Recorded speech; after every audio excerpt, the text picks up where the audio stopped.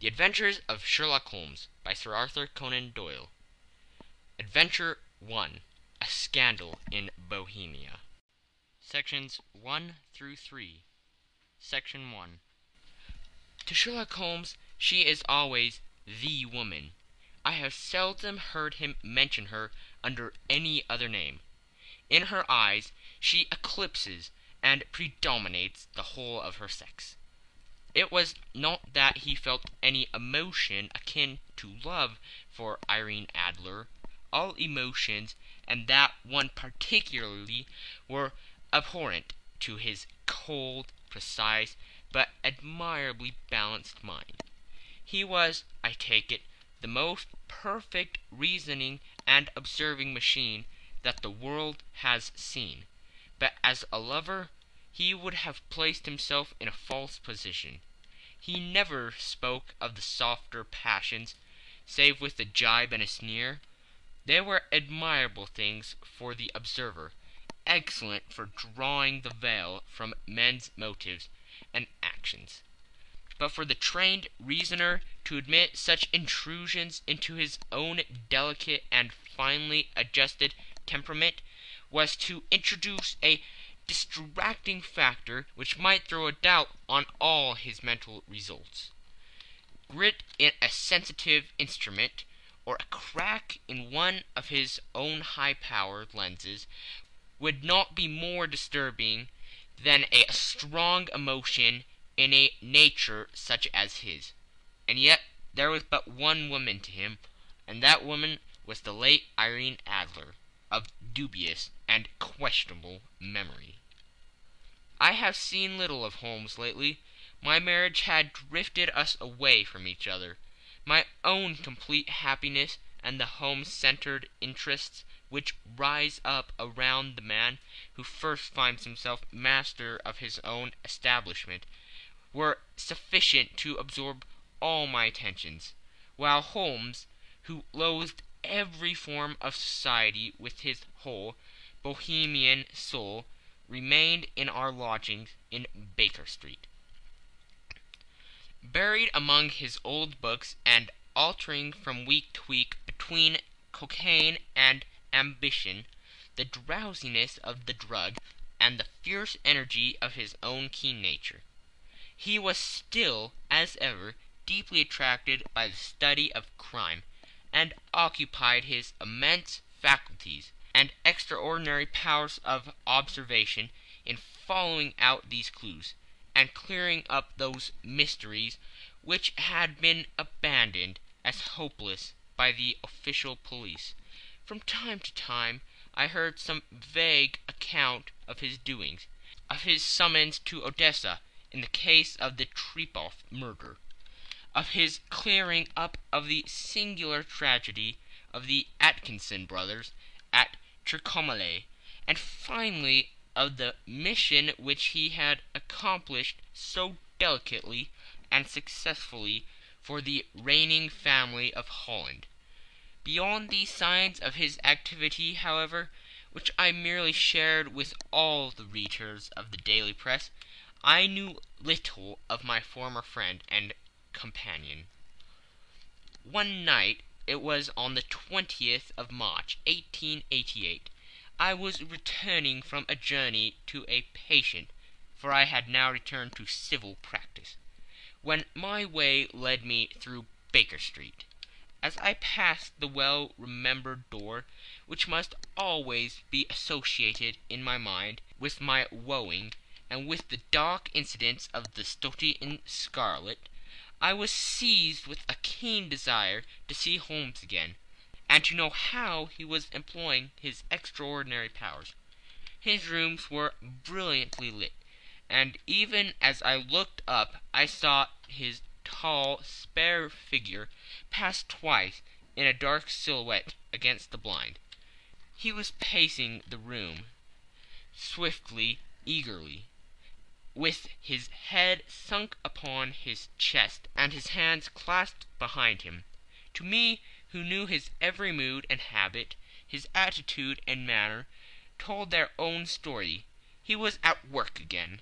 He had risen out of his drug created dreams, and was hot upon the scent of some new problem. I rang the bell, and was shown up to the chamber which had formerly been in part my own. His manner was not effusive it seldom was but he was glad, I think, to see me. With hardly a word spoken, but with a kindly eye, he waved me an armchair, threw across his case of cigars, and indicated a spirit case and a gasogene in the corner. Then he stood before the fire and looked me over in his singular introspective fashion. "Wedlock suits you," he remarked. "I think, Watson, that you have put on seven and a half pounds since I saw you." "Seven!" I answered. "Indeed, I should have thought a little more just a trifle more, I fancy, Watson. And in practice again, I observe. You did not tell me that you intended to go into harness." "Then how do you know?" "I see it. I deduce it. How do I know that you have been getting yourself very wet lately, and that you have a most clumsy and careless servant girl?" "My dear Holmes," said I, "this is too much. You would certainly have been burned had you lived a few centuries ago. It is true that I had a country walk on Thursday, and came home in a dreadful mess, but as I have changed my clothes I can't imagine how you deduce it. As to Mary Jane, she is incorrigible, and my wife has given her notice. But there again I fail to see how you work it out." He chuckled to himself and rubbed his long nervous hands together. "It is simplicity itself," said he. "My eyes tell me that on the inside of your left shoe, just where the firelight strikes it, the leather is scorched by six almost parallel cuts. Obviously they have been caused by someone who has very carelessly scraped around the edges of the soles in order to remove crusted mud from it.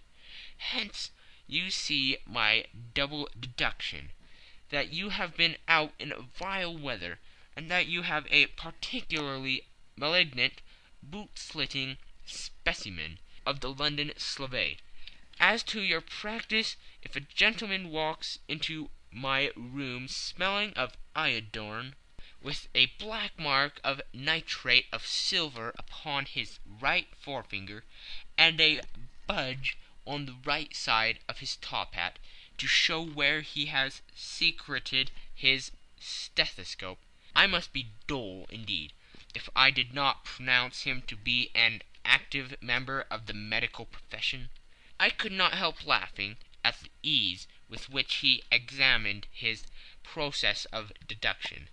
"When I hear you give your reasons," I remarked, "the thing always appears to me to be so ridiculously simple that I could easily do it myself, though at each successive instance of your reasoning I am baffled until you explain your process.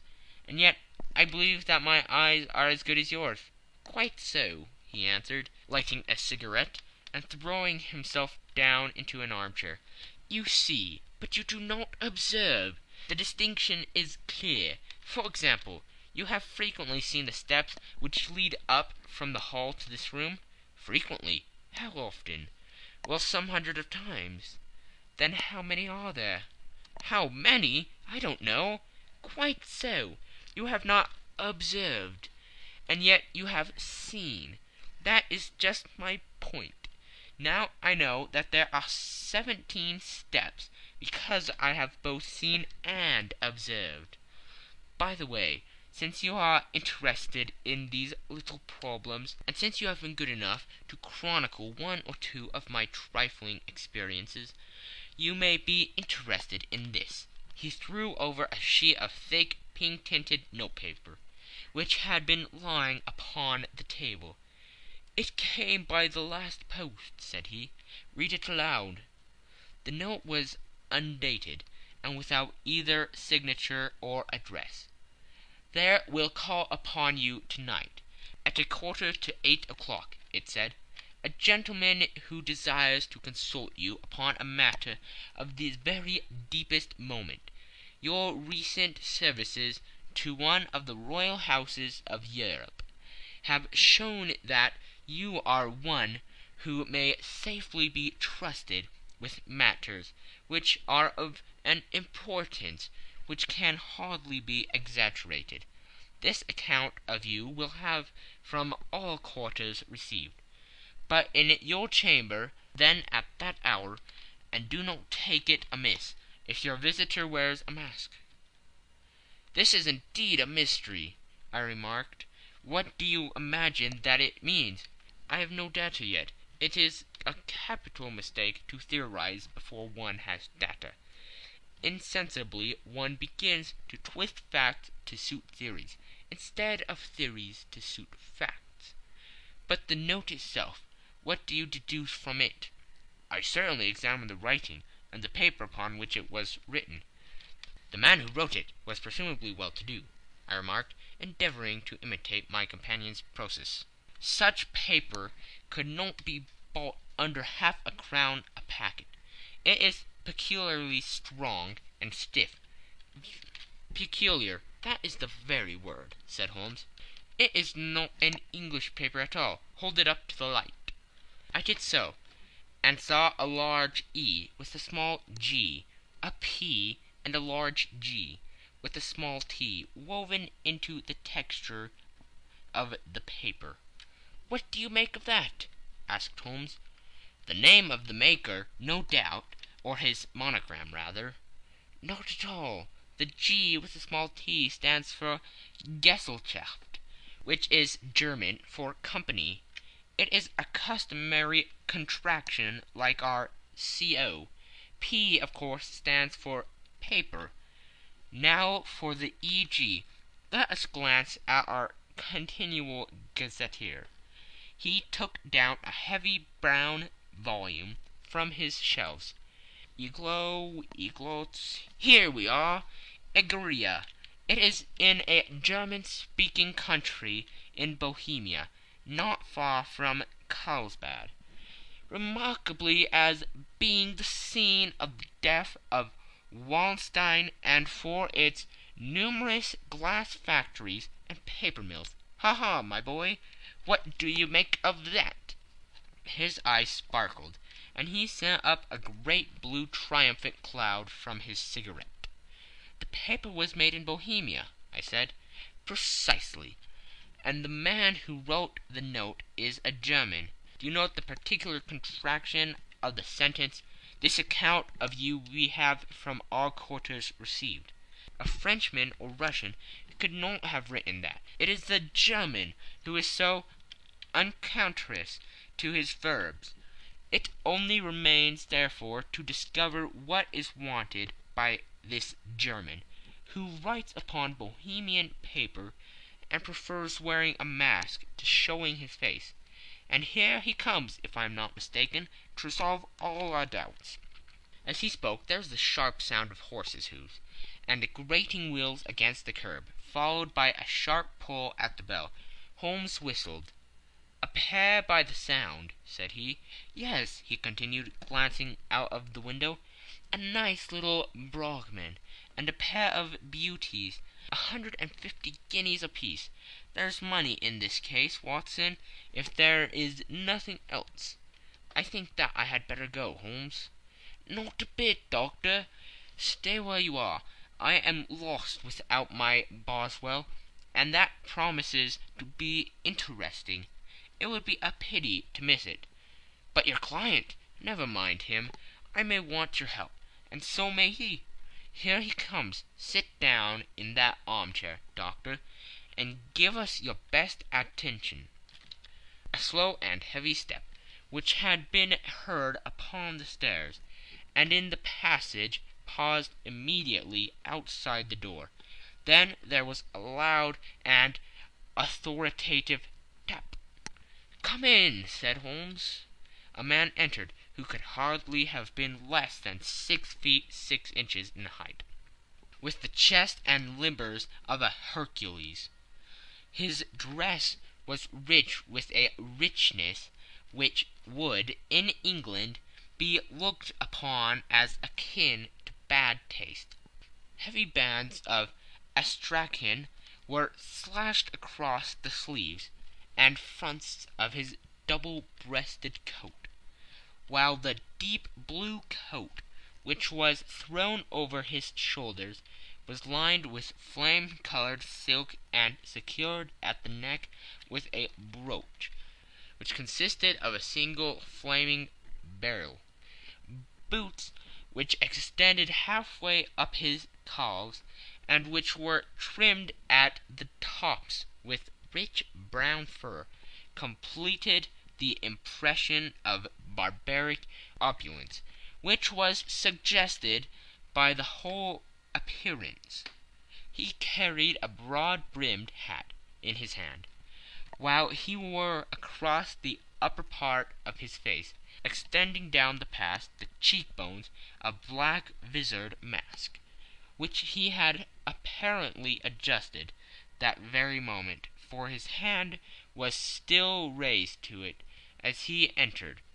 From the lower part of the face he appeared to be a man of strong character, with a thick hanging lip, and a long straight chin suggestive of resolution pushed to the length of obstinacy.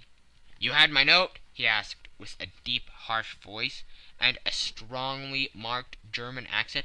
"I told you that I would call." He looked from one to the other of us, as if uncertain which to address. "Pray take a seat," said Holmes. "This is my friend and colleague, Dr. Watson, who is occasionally good enough to help me in my cases. Whom have I the honour to address?" "You may address me as Count von Kramm, a Bohemian nobleman. I understand that this gentleman, your friend, is a man of honour and discretion, whom I may trust with a matter of the most extreme importance. If not, I should much prefer to communicate with you alone." I rose to go, but Holmes caught me by the wrist and pushed me back into my chair. "It is both or none," said he. "You may see before this gentleman anything which you may say to me." The count shrugged his broad shoulders. "Then I must begin," said he, "by binding you both to absolute secrecy for two years. At the end of that time the matter will be of no importance. At present it is too much to say that it is of such weight it may have an influence upon European history." "I promise," said Holmes. "And I." "You may excuse this mask," countered our strange visitor. The august person who employs me wishes his agent to be unknown to you, and I may confess at once that the title by which I have just called myself is not exactly my own." "I was aware of it," said Holmes, dryly. "The circumstances are of great delicacy, and every precaution has to be taken to quench what might grow to be an immense scandal, and seriously compromise one of the ranging families of Europe. To speak plainly, the matter implicates the great house of Ormstein Hereditary, kings of Bohemia." "I was also aware of that," murmured Holmes, settling himself down in his armchair, closing his eyes. Our visitor glanced with some apparent surprise at the rigid, longing figure of the man, who had been no doubt depicted to him as the most insensate reasoner, a most energetic agent in Europe. Holmes slowly reopened his eyes, and looked impatiently at his gigantic client. "If your Majesty would condescend to state your case," he remarked, "I should be better able to advise you." The man sprang from his chair, and paced up and down the room in uncontrollable agitation. Then, with a gesture of desperation, he tore the mask from his face and hurled it upon the ground. "You are right!" he cried. "I am the king. Why should I attempt to conceal it?" "Why, indeed?" murmured Holmes. "Your Majesty had not spoken before I was aware that I was addressing William Gottsreich Sigmund von Armstrong, Grand Duke of Cassel-Felstein and hereditary King of Bohemia. But you can understand, said our strange visitor, sitting down once more and passing his hand over his high white forehead, you can understand that I am not accustomed to doing such business in my own person, that I could not confide it to an agent without putting myself in his power. I have come incognito from Prague, for the purpose of consulting you." "Then pray consult," said Holmes, shutting his eyes once more. "The facts are briefly these. Some five years ago, during a lengthy visit to Warsaw, I made the acquaintance of the well known adventuress Irene Adler. The name is no doubt familiar to you?" "Kindly look her up in my index, doctor," murmured Holmes, without opening his eyes. For many years he had adopted a system of docking all paragraphs concerning men and things, so that it was difficult to name a subject or a person on which he could not at once furnish information. In this case I found her biography sandwiched in between that of Hebrew rabbi and that of staff commander, who had written a monograph upon the deep sea fishes. "Let me see," said Holmes. "Hum! Born in New Jersey in the year 1858.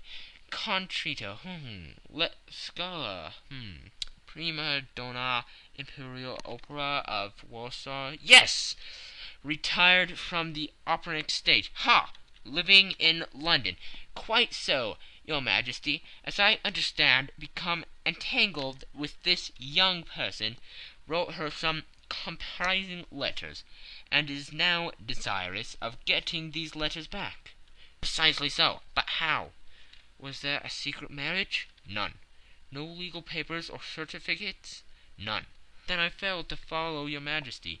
If this young person should produce her letters from blackmailing or other purposes, how is she to prove their authenticity? There is writing. Pooh! Forgery. My private notepaper. Stolen. My own seal. Imitated. My photograph. Bought. We were both in the photograph. Oh dear, that is very bad. Your Majesty has indeed committed an indiscretion. I was mad, insane. You have compromised yourself seriously. I was only Crown Prince then. I was young. I am but thirty now. It must be recovered. We have tried and failed. Your Majesty must pay. It must be bought. She will not sell. Stolen, then. Five attempts have been made. Twice burglars in my pay ransacked her house. Once we diverted her luggage when she travelled. Twice she has been waylaid. There has been no result. No sign of it? Absolutely none. Holmes laughed. "It is quite a pretty little problem," said he. "But a very serious one to me," returned the King, reproachfully. "Very indeed. What does she propose to do with the photograph?" "To ruin me." "But how?" I'm about to be married." "So I have heard." "To Claudia Lohrmann von Saxe Montenegrin, second daughter of the King of Scandinavia. You may know that strict principles of her family. She is herself the very soul of delicacy. A shadow of a doubt as to my conduct would bring the matter to an end." "And Irene Adler?" "Threatens to send him a photograph. And she will do it. I know that she will do it. You do not know her, but she has a soul of steel. She has the face of the most beautiful of women, and the mind of the most resolute of men. Rather than I should marry another woman, there are no lengths to which she would not go none." "You are sure that she has not sent it yet?" "I am sure." "And why?" Because she has said that she would send it on the day when the betrothal was publicly proclaimed. That would be next Monday." "Oh, then we have three days yet," said Holmes, with a yawn. "That is very fortunate. as I have one or two matters of importance to look into just at present. Your Majesty will of course stay in London for the present?" "Certainly. You will find me at the Langham under the name of the Count von Kramm." "Then I shall drop you a line to let you know how we progress." "Pray do so. I shall be all anxiety. Then as to money? You have carte blanche?" "Absolutely. I tell you that I would give one of the provinces of my kingdom to have that photograph. And for the present expenses?" The King took a heavy chamois leather bag from under his cloak and laid it on the table. "There are three hundred pounds in gold and seven hundred in notes," he said. Holmes scribbled a receipt upon a sheet of his note book and handed it to him. "And mademoiselle's address?" he asked. "Is Briony Lodge, Serpentine Avenue, St. John's Wood." Holmes took a note of it. "One other question," said he. "Was the photograph a cabinet?" "It was." "Then good night, your Majesty, and I trust that we shall soon have some good news for you. And good night, Watson," he added, as the wheels of the Royal brougham rolled down the street. "If you will be good enough to call to morrow afternoon at three o'clock, I should like to chat this little matter over with you." End of section one. Section two. At three o'clock precisely I was at Baker Street, but Holmes had not yet returned. The landlady informed me that he had left the house shortly after eight o'clock in the morning. I sat down beside the fire, however, with the intention of awaiting him.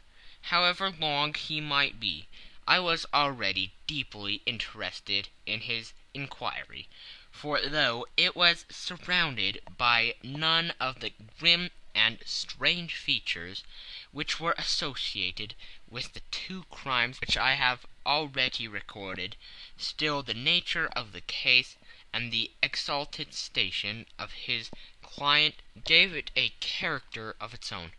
Indeed, apart from the nature of the investigation which my friend had on hand, there was something in his masterly grasp of a situation, and his keen, incisive reasoning, which made it a pleasure to me to study his system of work, and to follow the quick, subtle methods by which he distinguished the most inextricable mysteries.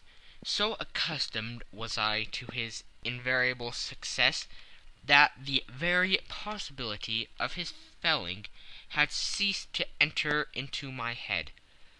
It was close upon four before the door opened, and a drunken looking groom, ill kept and side whiskered, with an inflamed face and disreputable clothes, walked into the room. Accustomed as I was to my friend's amazing powers in the use of disguises, I had to look three times before I was certain that it was indeed he.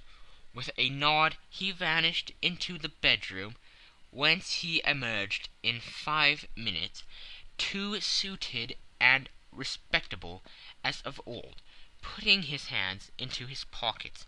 He stretched out his legs in front of the fire and laughing heartily for some minutes.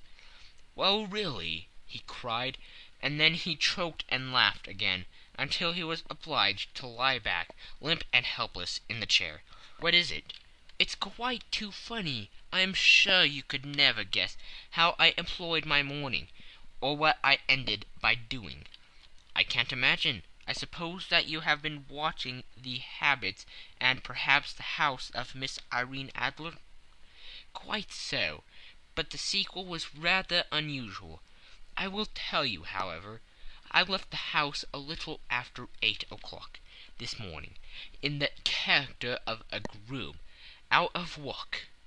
There is a wonderful sympathy and freemasonry among wholesome men, but one of them, and you will know all that there is to know, I soon found Briony Lodge.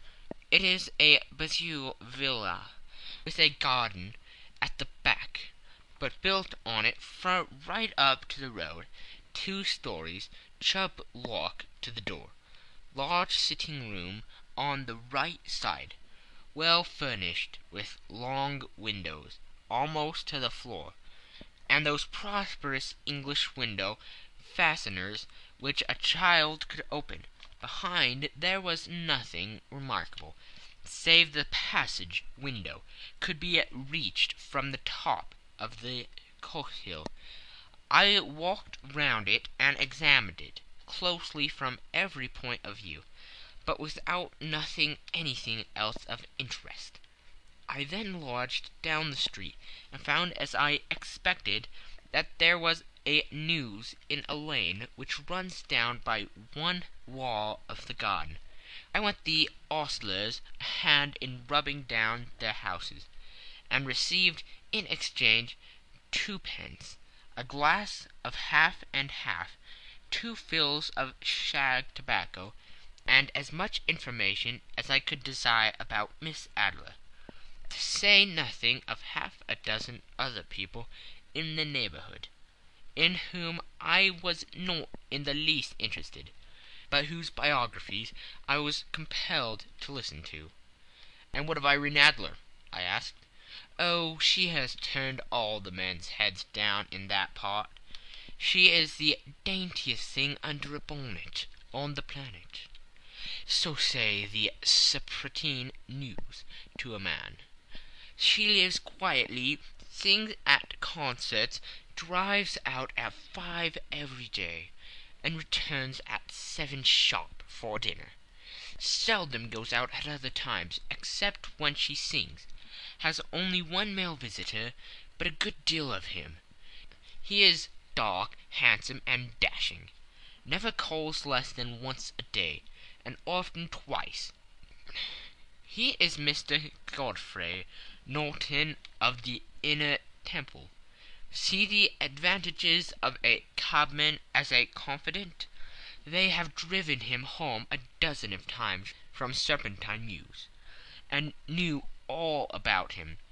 When I had listened to all they had to tell, I began to walk up and down near Briony Lodge once more and to think over my plan of campaign. This Godfrey Norton was evidently an important factor in the matter. He was a lawyer. That sounded ominous. What was the relation between them, and what the object of his repeated visits? Was she his client, his friend, or his mistress? If the former, she had probably transferred the photograph to his keeping. If the latter, it was less likely on the issue of this question deepened whether I should continue my work at Briony Lodge or turn my attention to the gentlemen's chambers in the Temple. It was a delicate point, and it widened the field of my inquiry.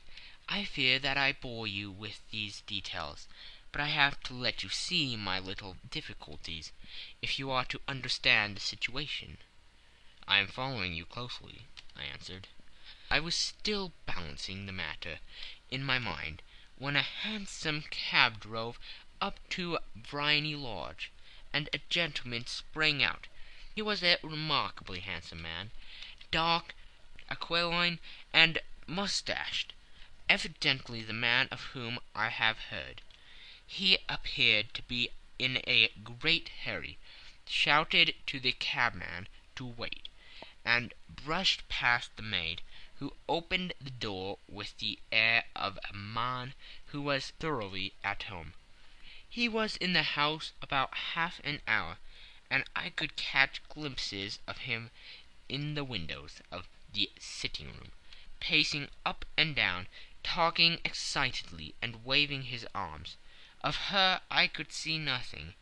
Presently he emerged, looking even more flurried than before. As he stepped up into the cab he pulled a gold watch from his pocket and looked at it earnestly. "Drive like the devil!" he shouted. "First to Gross & Humphrey's in Regent Street, and then to the Church of St. Monica in Edgware Road. Half a guinea if you do it in twenty minutes." Away they went, and I was just wondering whether I should not do well to follow them, when up the lane came a neat little landau, the coachman with his coat only half buttoned, and his tie under his ear, while all the tags of his harness were sticking out of the buckles. It hadn't pulled up before she shot out of the hall door and into it.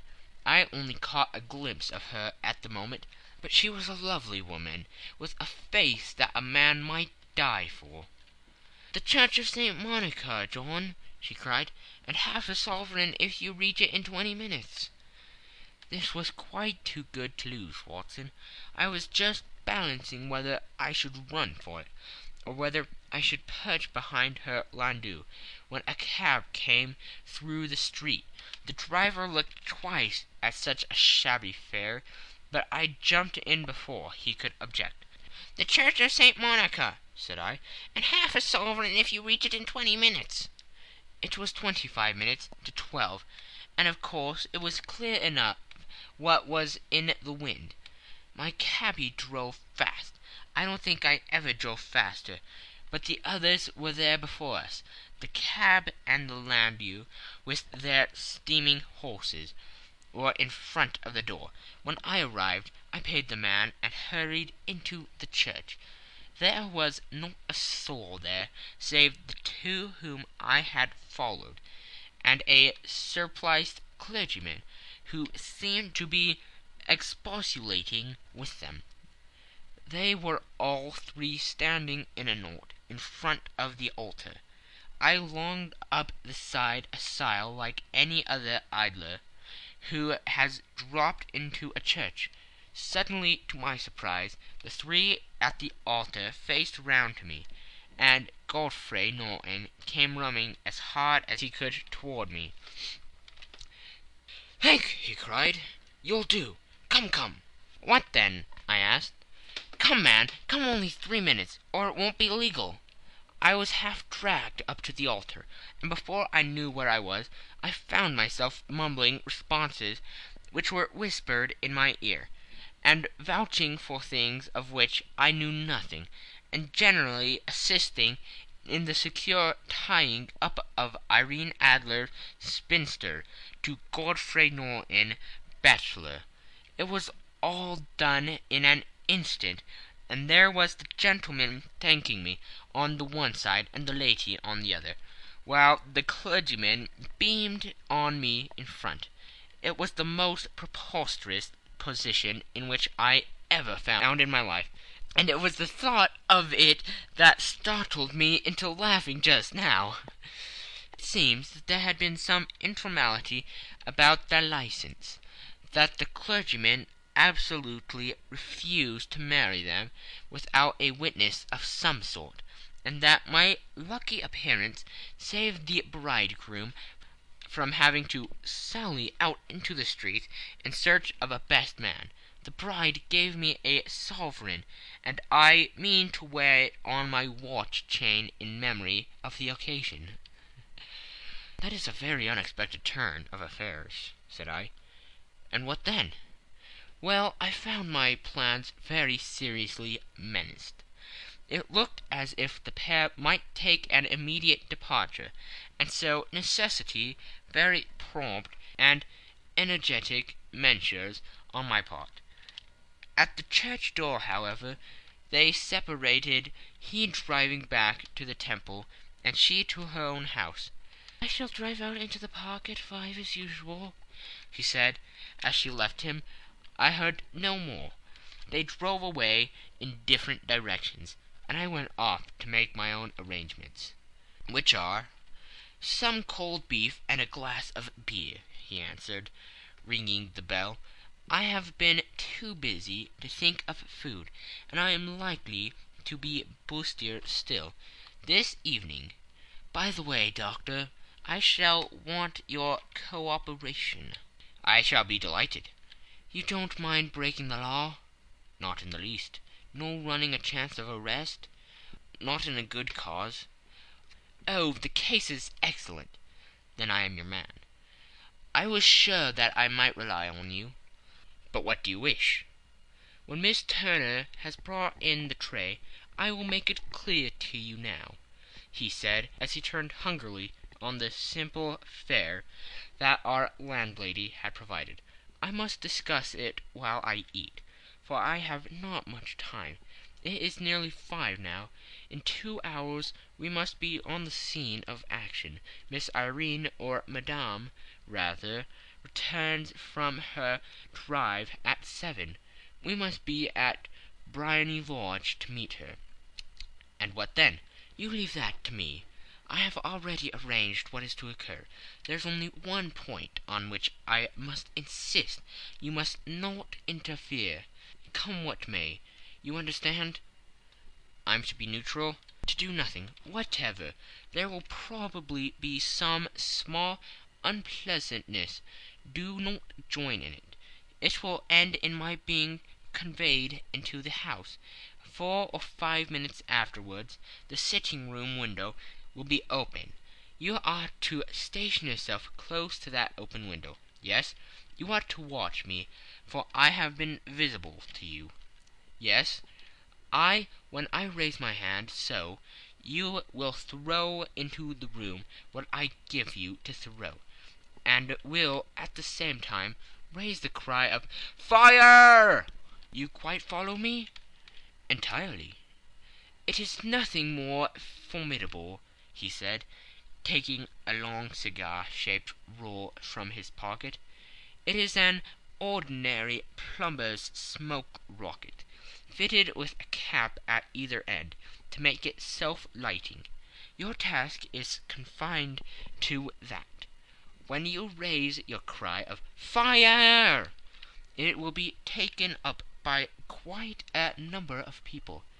You may then walk to the end of the street, and I will rejoin you in ten minutes. I hope that I have made myself clear.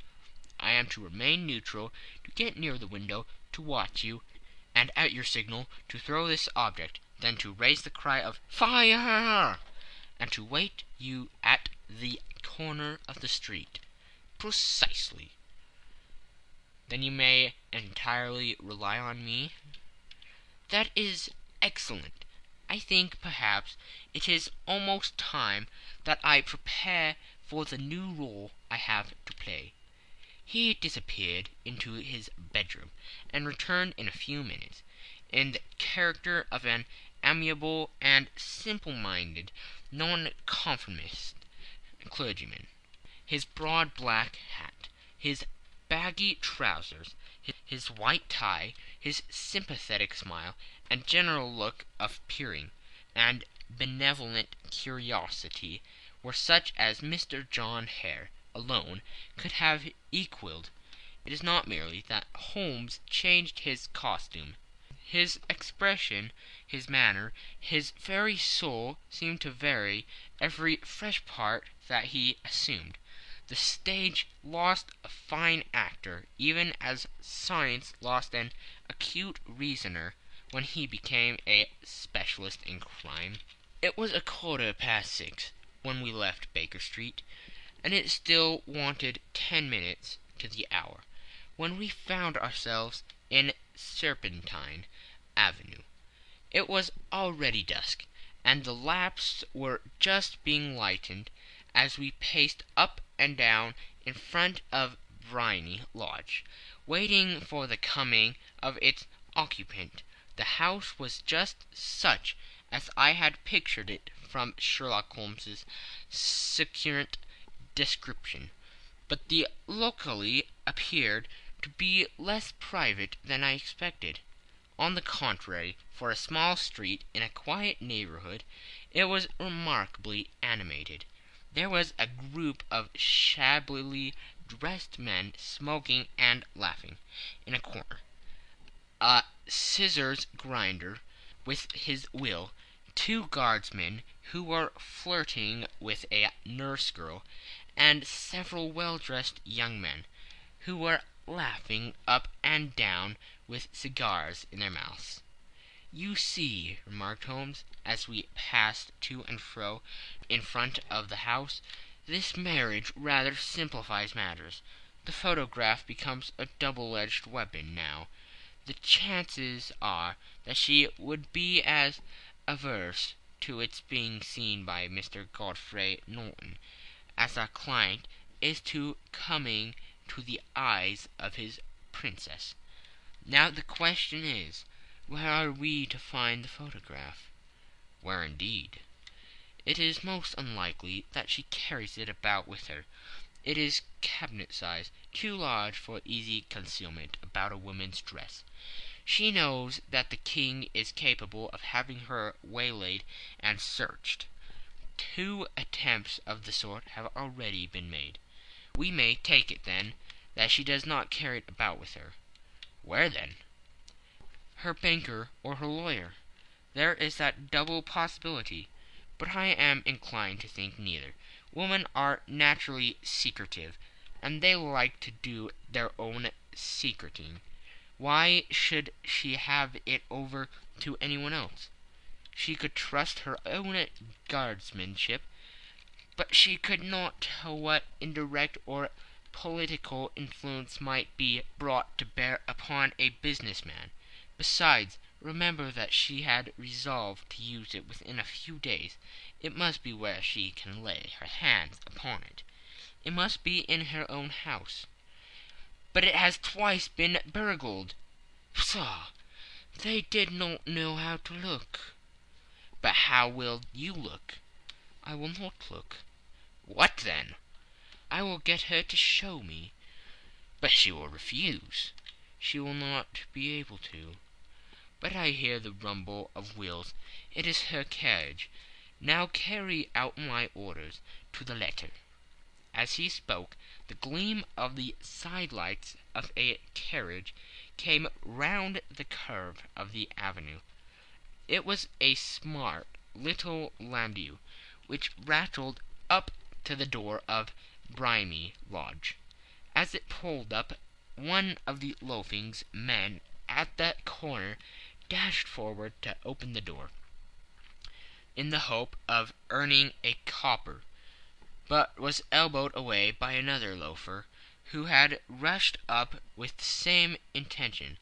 A fierce quarrel broke out, which was increased by the two guardsmen, who took sides with one of the Longer's, and by the scissors grinder, who was equally hot upon the other side. A blow was struck, and in an instant the lady, who had stepped from her carriage, was the centre of a little knot of flourish and struggling men, who struck savagely at each other with their fists and sticks. Holmes dashed into the crowd to protect the lady, but just as he reached her he gave a cry and dropped to the ground with the blood running freely down his face.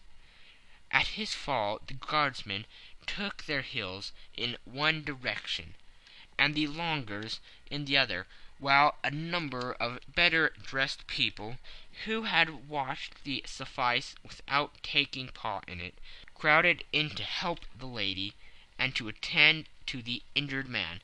Irene Adler, as I will still call her, had hurried up the steps, but she stood at the top with her superb figure outlined against the lights of the hall, looking back into the street.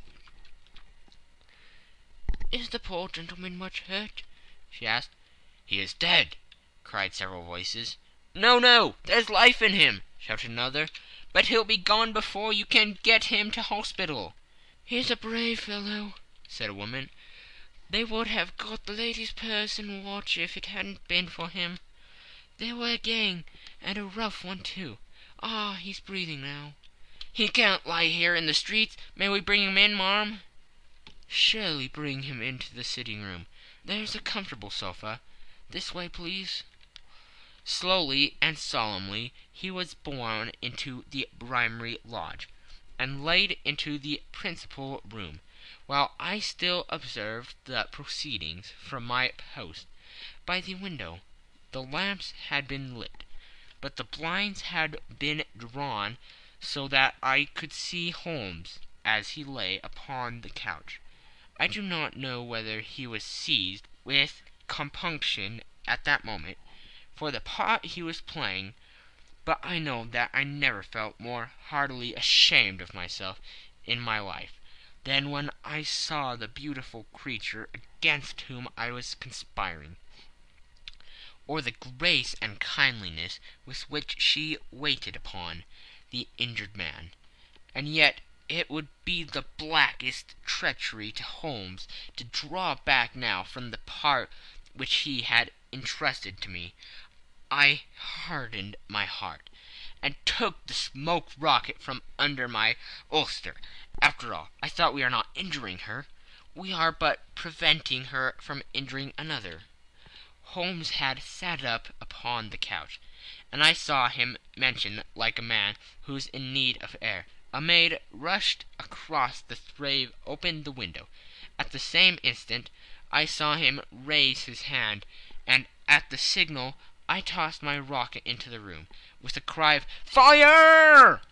The word was no sooner out of my mouth than the whole crowd of spectators, well dressed and ill, gentlemen, ostlers, and servant maids, joined in the general shriek of "Fire!"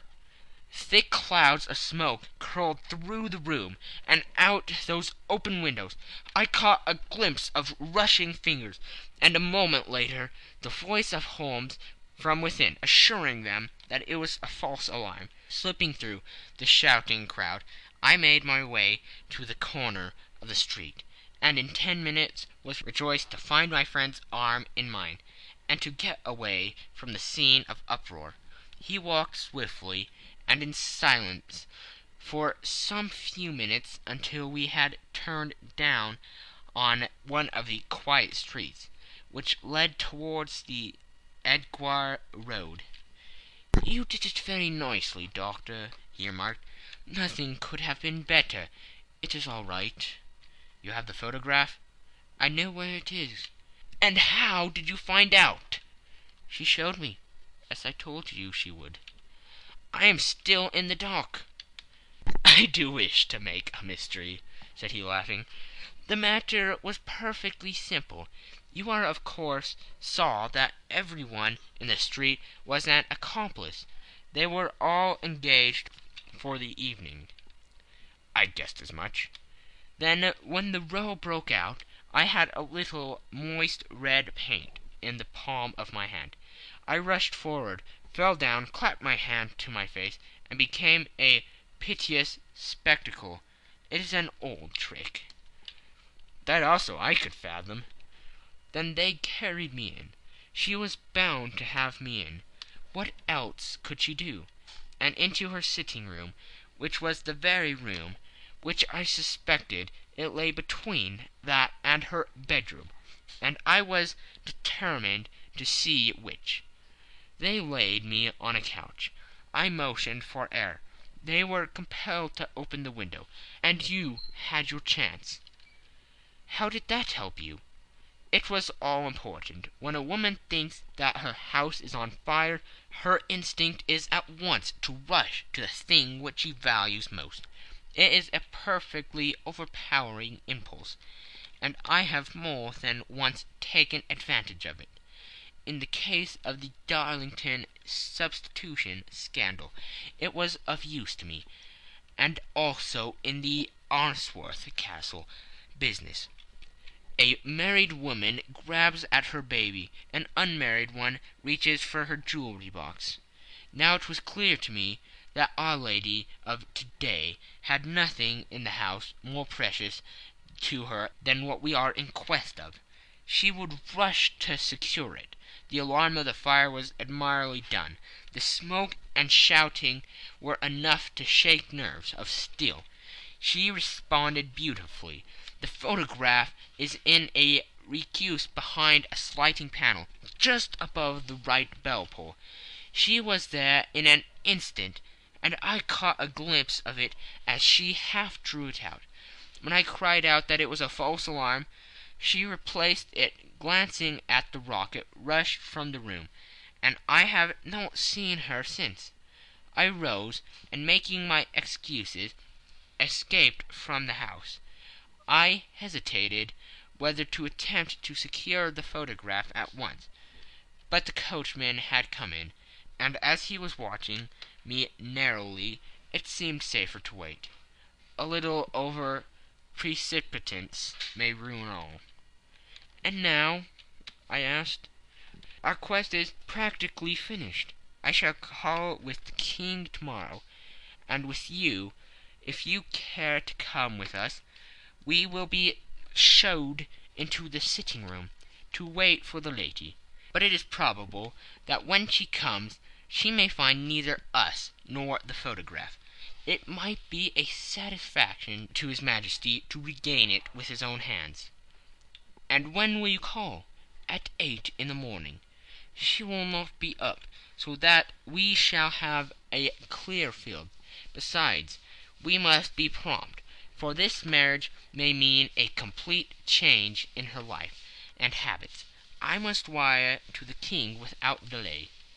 We had reached Baker Street, and had stopped at the door. He was searching his pockets for the key, when some one passing said, "Good night, Mr. Sherlock Holmes." There were several people on the pavement at the time, but the greeting appeared to come from a slim youth in an ulster who had hurried by. "I've heard that voice before," said Holmes, starting down the dimly lit street. "Now I wonder who the deuce that could have been." End of Section 2 Section 3 I slept at Baker Street that night and we were engaged upon our toast and coffee in the morning, when the King of Bohemia rushed into the room.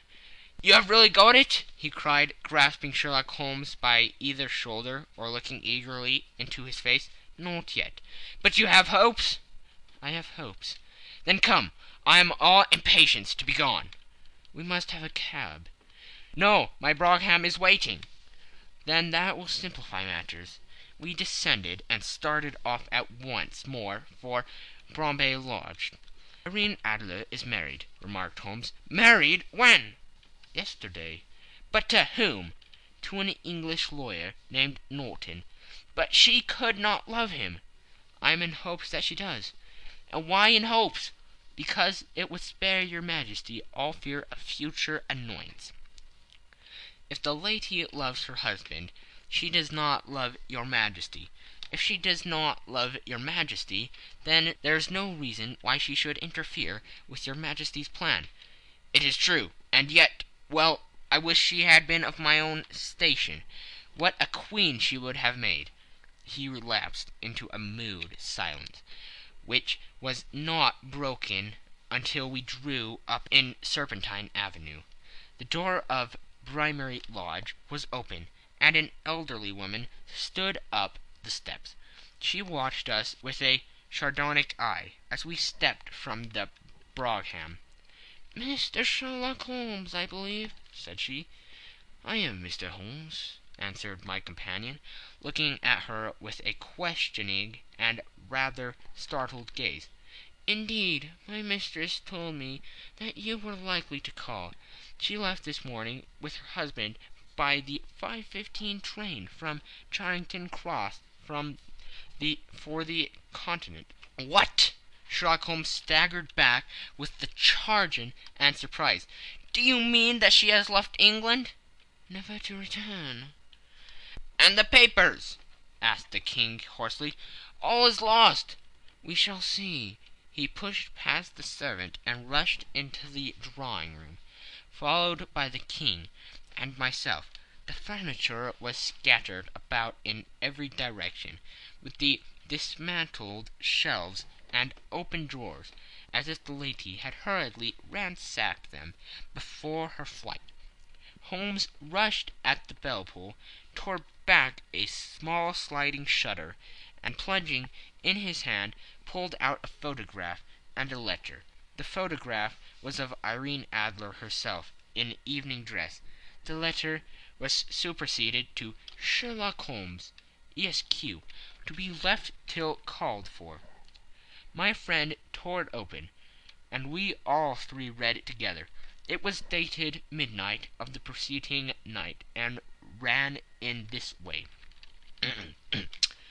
"My dear Mr. Sherlock Holmes, You really did it well. You took me in completely. Until after the alarm of fire I had not a suspicion. But then, when I found how I had betrayed myself, I began to think. I had been warned against you months ago. I had been told that if the King employed an agent it would certainly be you, and your address had been given me. Yet, with all this, you made me reveal what you wanted to know. Even after I became suspicious.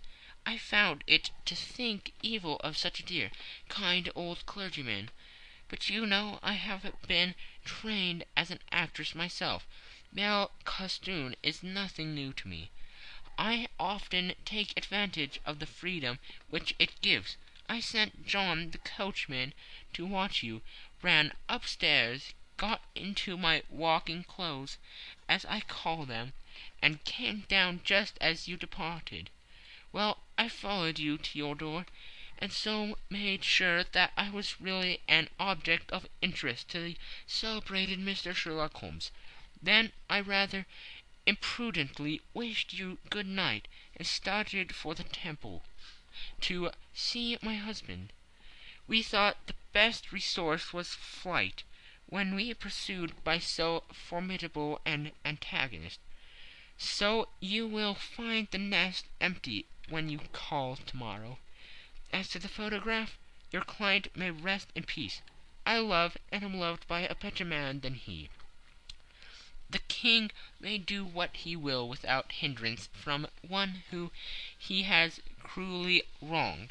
I keep it only to safeguard myself, and to preserve a weapon which will always secure me from any steps which he might take in the future.